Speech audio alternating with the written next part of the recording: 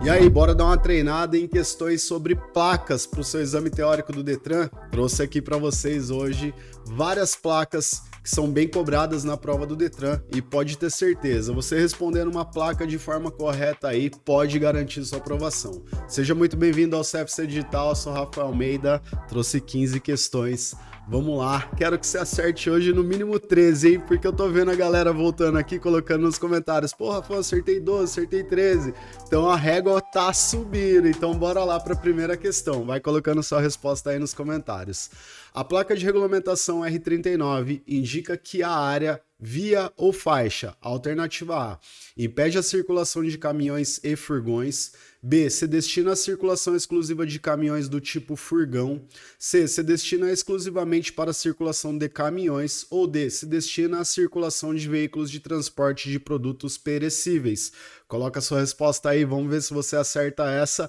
Eu vou eliminar essa D aqui já para você, ó. Se destina à circulação de veículos de transporte de produtos perecíveis, pode excluir. Lembrando, o nome da placa se chama Circulação Exclusiva de Caminhões. Eu já vi muitas muito aluno respondendo a alternativa A. Falou, pô, Rafael, mas essa daqui não é um furgão? Não, é para caminhões em geral. A resposta correta vai ser a alternativa C. Ó. Pode ver que aqui, ó, furgões e do tipo furgão pode excluir a A e a B. A alternativa correta Alternativa C, se destinar exclusivamente para a circulação de caminhões. Bora lá, questão número 2.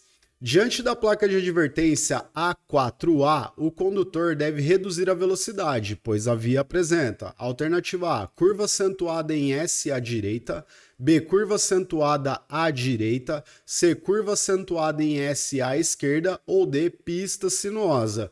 Esse tipo de placa de advertência confunde bastante no dia da nossa prova. Então entenda que tem a placa de pista sinuosa, tem a placa de curva acentuada à esquerda ou à direita, ou só curva à esquerda ou à direita, e essa daqui você tem que saber que é uma curva em S. Ah, Rafão, para que lado que tá? Repare que a primeira curva é a que você considera, é para a esquerda. Então, toda placa que você vê assim, que tem a letra A, é esquerda e se a placa terminasse com A4B, seria a direita, joia? Então aqui, ó, você elimina a B, curva acentuada à direita, não a curva acentuada à direita, ela seria assim, ó, desta forma, tá? E dá para você eliminar a pista sinuosa, que é aquela cobrinha que aparece assim a seta, deixa eu fazer uma seta aqui assim, e ela faz desse jeito assim, ó. Ah, eu acho que deu para entender, né? Tô bom de desenho. Aqui a resposta correta, alternativa C. Toma cuidado quando é esquerda e direita. Isso daqui parece ser bobeira, mas eu tenho que reforçar, porque muita gente acaba se confundindo com esquerda e com direita na hora da prova. Questão número 3. Diante da placa de regulamentação R19, o condutor deve manter a velocidade. Alternativa A, acima da indicada pela placa nas ultrapassagens. B, continuamente como está indicado pela placa. C, igual ou abaixo da indicada pela placa. Ou D, acima da indicada pela placa nos cruzamentos. Imagina, no cruzamento você deve reduzir a velocidade. Não é acima também. Você tem a B e a C agora para responder. Eu acredito que você consiga responder de forma correta a essa. Ou você vai manter a velocidade igual ou abaixo da placa. Alternativa C. Eu vou fazer mais uma pergunta com essa questão. A velocidade de 80 km por hora caracteriza para qual via? É uma via urbana. Coloca aí nos comentários, vamos ver se você acerta. Qual via urbana que ela é caracterizada e tem a velocidade de 80 km por hora? Estamos falando da velocidade máxima. Coloca aí, vamos ver. Questão número 4. Diante da placa de advertência A3A, o condutor deve reduzir a velocidade, pois há risco de acidente em função. Alternativa A. Da existência de um declive na via frente. B. Da via frente ser sinuosa com a primeira curva à direita. C. Da pista da via frente ser escorregadia. Ou D. Da via frente ser sinuosa com a primeira curva à esquerda. Então vamos lá, de novo no macetezinho. Letra A é para esquerda, se fosse letra B é para direita. E tá aí a, a placa de pista sinuosa que eu tentei desenhar ali atrás. Olha que horrível que ficou. Então tá aí a placa de pista sinuosa. Agora você já sabe, né, que não é existência de um declive, declive é descida, e nem uma pista ser escorregadia. Você tem a, a a B e a D para responder. Já que a gente falou que a letra A aqui é para a esquerda, pronto, você já pode ir na alternativa D, da via frente ser sinuosa com a primeira curva esquerda.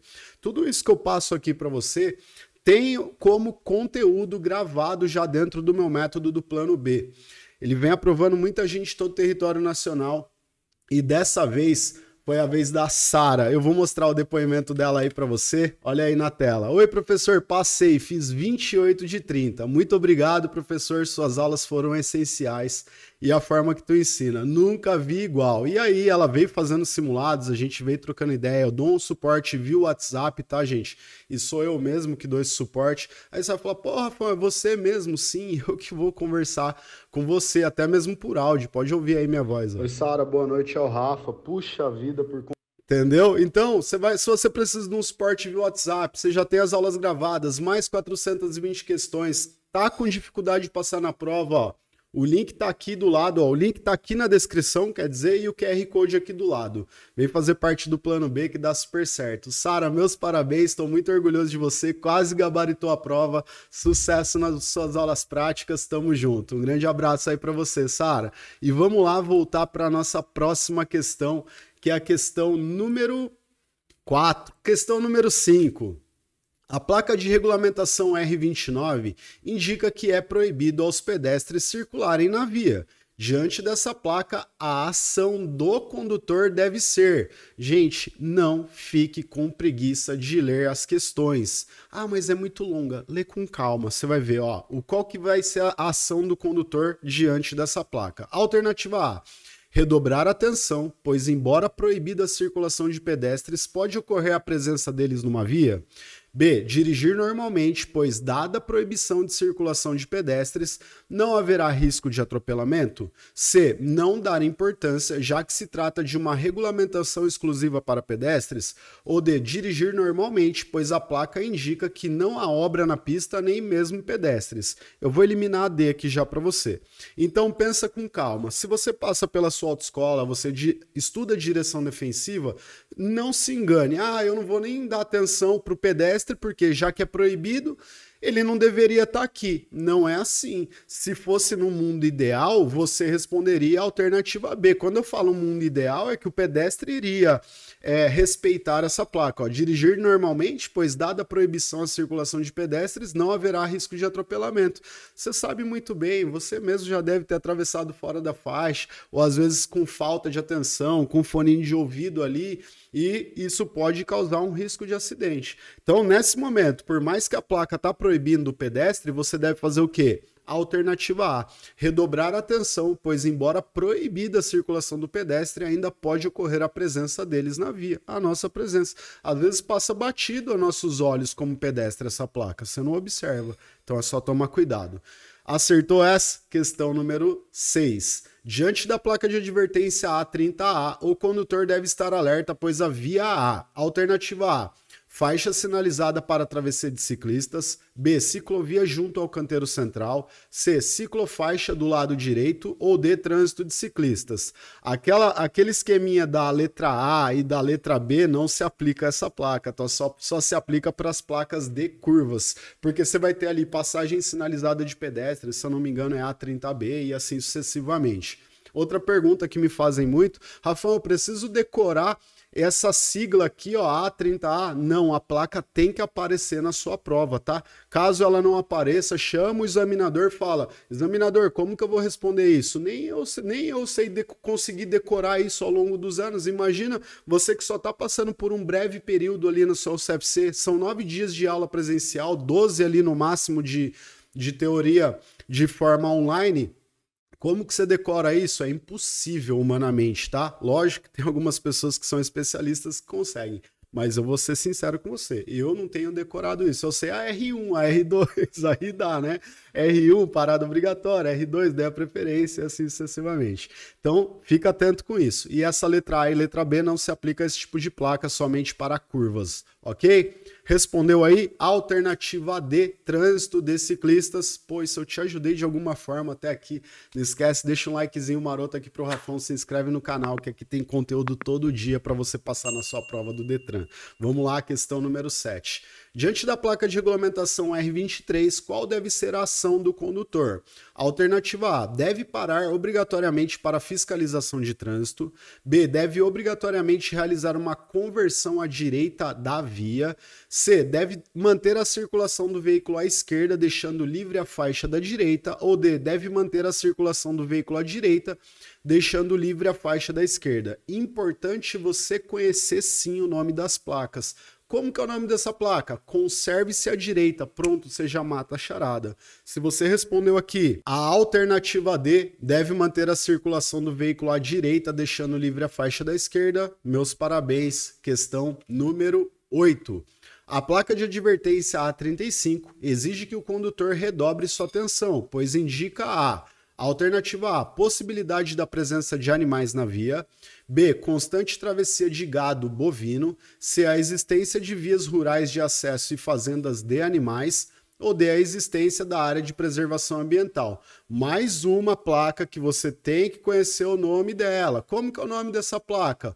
O nome dela é só animais mais. Pronto, mais nada. Animais. Aí você vai falar, pô, Rafão, então se é animais, eu tenho que responder a, a resposta mais simples possível. Exatamente. Aqui vai ser a alternativa A, a possibilidade da presença de animais na via. Pronto, tá fechado. Respondeu a A, muito bem. Questão número 9. As placas SAU14, SAU7 e SAU24 são placas de indicação de serviço. Elas indicam, respectivamente, nessa ordem, os seguintes serviços: Alternativa A: hotel, serviço mecânico e transporte sobre a água. B: área de camping, serviço mecânico e transporte sobre a água. C, área de camping, abastecimento e transporte sobre a água, ou D, hotel, serviço mecânico e área de camping. Se ela está pedindo aqui, ó, a questão está pedindo na ordem, então você consegue eliminar já alternativas. Ah, tá falando que é hotel, elimina A, não é hotel. A D também tá falando que é hotel, elimina a D. Você tem a B e a C, área de camping. Agora é só você conferir as demais. Alternativa B, área de camping, serviço mecânico e transporte sobre a água. Geralmente a gente chama de balsa, tá? Mas o nome da placa é transporte sobre a água. Para mim é essa já. A C, área de camping, aqui é abastecimento? Não, aqui é serviço mecânico. Elimina C, resposta correta. Alternativa B, questão número 10. Diante da placa de advertência A40, o condutor deve estar alerta ao cruzamento, pois a passagem, alternativa A, com barreira entre a ferrovia e a via com risco de acidente. B. Sem barreira entre ferrovia e via com risco de acidente. C. Com barreira entre duas vias com riscos de acidente. Ou D. Proibido na via frente devido ao risco de acidente. Proibição já não é, se fosse proibição, seria uma placa de regulamentação com a borda vermelha. Entenda que essa placa, além de ser uma linha de trem, ó, reparem que aqui ó, tem tipo um espetinho, que nada mais é do que uma cerquinha, tá? Então, se tem uma cerquinha, é uma barreira. O que, que seria uma barreira? Você está passando por uma linha de trem, você já deve ter visto pela sua cidade, ou tem cancelas que se abaixam ou portões que se fecham para um trem passar. Pronto, então se você já sabe que é com barreira entre uma via e uma ferrovia com risco de acidente, porque é uma placa amarela de advertência, a resposta vai ser a alternativa A. Respondeu ela, questão número 11. A placa de regulamentação R33 trata da circulação de veículos em uma rotatória, indicando que é obrigatório, alternativa A, passar rapidamente sem dar preferência ao acessar a rotatória, B, circular no sentido dos ponteiros do relógio, C. Seguir em frente independente de tráfego da, na outra via. Ou D. Circular no sentido contrário dos ponteiros do relógio. O nome da placa se chama Sentido de Circulação na Rotatória. Isso é uma obrigação. E o que, que ela está querendo te dizer? Que você vai ter que circular por ela. Pronto. Você circularia no sentido dos ponteiros do relógio, que é chamado sentido horário, ou no sentido anti-horário? Ah, Rafa, um sentido anti-horário. Pronto, você deu a resposta correta. Aqui a alternativa D, circular no sentido contrário, anti-horário, dos ponteiros do relógio. Respondeu ela? Ah, por quê? Porque se você entrar por aqui, vai ser contramão de direção. Questão número 12. A placa de advertência A15 visa evitar acidentes, indicando alternativa A, o término da via frente, B, parada obrigatória à frente, C, o bloqueio da via frente ou D, parada obrigatória. Não confunda essa placa aqui, ó, de pare com essa de parada obrigatória à frente. Ah, tem a placa de pare? Tem a placa chamada octa octagonal. Ela tem oito lados. Vai ser difícil de eu desenhar ela aqui, mas eu vou tentar, tá? Vamos ver se eu consigo fazer aqui. Ah, você já, eu acredito que você já entendeu, né? Aqui, ó. Tum, pronto, fechou. Só não sei se deu oito lados. Um, dois, 3, 4, 5, 6, 7, 8. Beleza.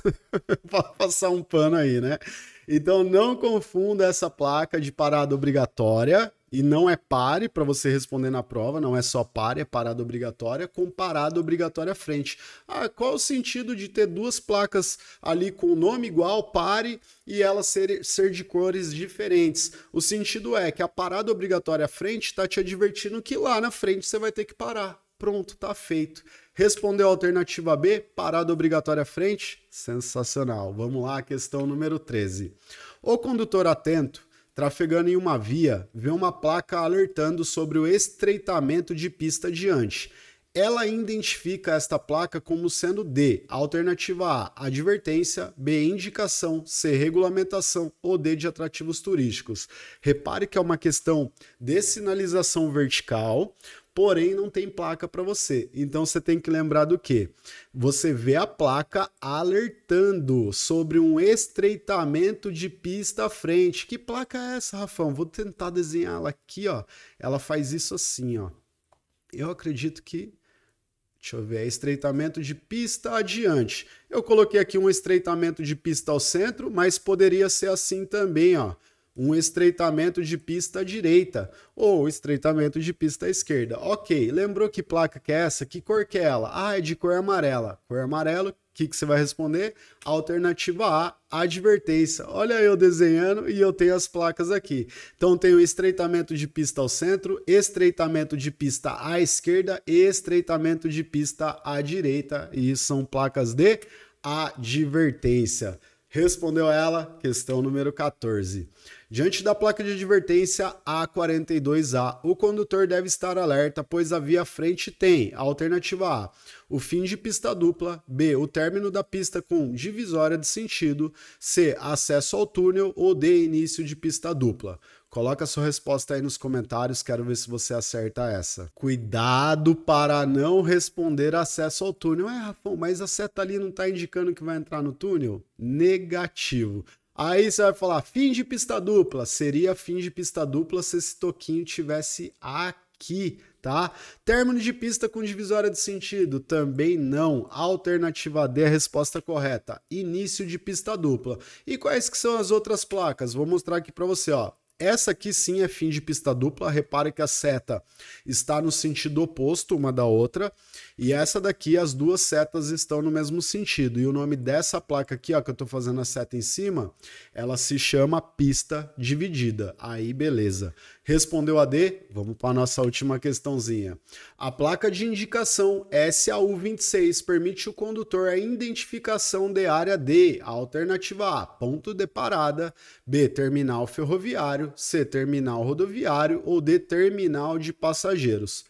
Posso eliminar duas para facilitar a sua vida? A B elimina, terminal ferroviário e a D terminal de passageiros. Está eliminado. Agora você tem que me responder ou a A, ponto de parada, ou a C, terminal rodoviário. O que, que você respondeu? Se você colocou alternativa A, ponto de parada, você vai falar, Rafão, mas não é terminal rodoviário, não é um busão? Vou te mostrar qual que é. Terminal rodoviário é o ônibus de frente ponto de parada, ônibus de lado, terminal rodoviário, ônibus de frente. Detalhe, tem alguns estados que não tem essa casinha aqui em cima, mas continua sendo o terminal rodoviário. Essa daqui, tá? Essa daqui, SAU 26, ponto de parada. Agora me conta, dessas 15, você conseguiu acertar 13? Eu acredito que sim, eu acredito que você tenha acertado sim. E pode ter certeza que uma dessas placas vai aparecer na sua prova, porque eu peguei muitas provas aí de todo o território nacional e eu vejo que essas, uma delas sempre aparece. Por isso que eu escolhi as melhores aqui para você hoje. Tá indo fazer sua prova? essa semana, pede sabedoria para Deus, que eu tenho certeza que vai te acalmar, você vai lembrar de todo o conteúdo e você vai conseguir sua aprovação. Depois volta aqui no canal e me conta, Rafão, passei, acertei tantas questões, sou do estado tal, para nós motivarmos outras pessoas que estão sentindo dificuldade. Então vai lá, arrebenta, porque você sabe, sorte é para quem não estuda, você está estudando aqui comigo, vou ficando por aqui, boa prova, um grande abraço do Rafão e te vejo amanhã no próximo vídeo. Valeu, tchau, tchau. Ciao.